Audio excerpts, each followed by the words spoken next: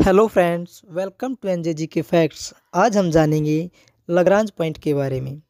आखिर लगराज पॉइंट क्या होता है?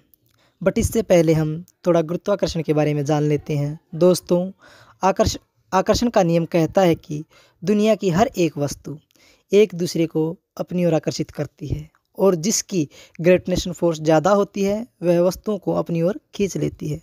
ऐसी ही गुरुत्वाकर्षण सूर्य चंद्रमा और पृथ्वी के बीच होती है। सब में गुरुत्वाकर्षण बल होता है, या जिसका गुरुत्वाकर्षण बल ज़्यादा होता है, चीज़ें उसी की तरफ़ खींची चली जाती हैं। जैसे पृथ्वी से हम कोई वस्तु अगर आकाश की तरफ़ उछालते हैं तो वह वापस पृथ्वी पर इसलिए गिर जाती है क्योंकि पृथ्वी से अपनी ओर आकर्षित कर लेती है। और न्यूटन ने भी इसी बात की खोज की थी जब उसके सिर पर एप्पल गिरा था। दोस्तों जब हम पृथ्वी से कोई सैटेलाइट सूर्य की तरफ़ भेजते हैं तो सूर्य का गुरुत्वाकर्षण बल ज़्यादा होने के कारण सूर्य उसे अपनी ओर खींच लेता है।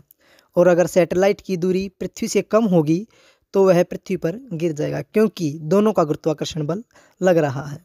और एक और सूर्य अपनी तरफ़ उसे खींच रहा है, दूसरी तरफ़ पृथ्वी अपनी ओर उसे खींच रही है।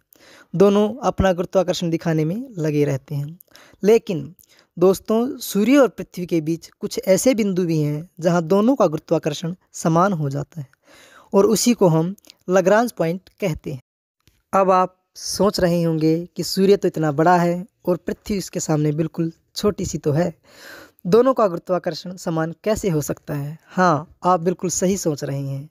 लेकिन दोस्तों, ये दूरी के हिसाब से संभव हो जाता है, क्योंकि जैसे जैसे हम सूर्य से दूर और पृथ्वी के नज़दीक आ जाएँगे तो बीच में एक ऐसी ऐसा बिंदु आएगा, जहाँ दोनों का गुरुत्वाकर्षण समान हो जाएगा।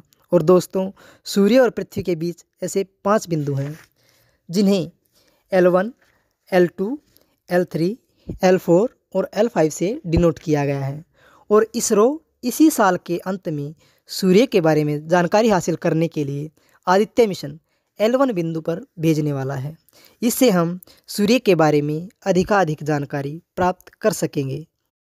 आई होप कि आपको ये जानकारी पसंद आई होगी। ऐसे ही अमेजिंग फैक्ट्स जानने के लिए हमारे चैनल को सब्सक्राइब कीजिए और बेल आइकन को ऑन करना ना भूलें।